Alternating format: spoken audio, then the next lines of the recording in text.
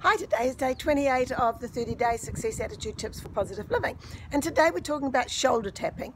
Now, shoulder tapping is sort of a phrase that I've made up because it it sort of explains what happens when people tell you that you've got gifts and talents, tell you that you're good at something, tell you, um, ask you to do something, invite you to a, for a promotion, uh, all those sorts of things.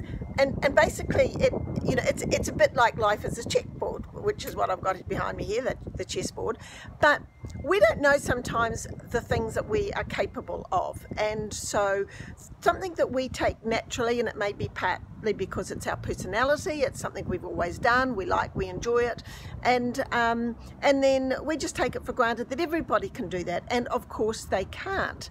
But then somebody will shoulder tap and say, well, you're really good at being a leader, or you're really really good at doing this, and maybe you could um, maybe you could you know try for this promotion, maybe you could um, you know do this or something, and it's a phrase I call shoulder tapping, and for me it sort of happened when I was um, just started this journey, when I started learning about um, personal development uh, at Play Centre, which is a childcare place, and somebody shoulder tapped me, as I call her, and I always say she's the angel in the white cardigan. And I wrote a, an article, even went in the Reader's Digest, but it was about this person saying to me, Well, I think you'd be great at teaching these. Now, I had never ever in my whole life ever thought that I could be a teacher, and I've been doing it for 30, 30 odd years in workshops, classrooms, conferences, books, and everywhere.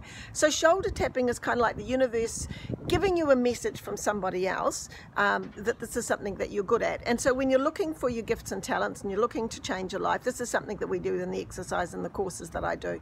But just think about it. What are things that you've got? What have people suggested to you? What have they offered to you? Because it's a phrase that I call shoulder tapping.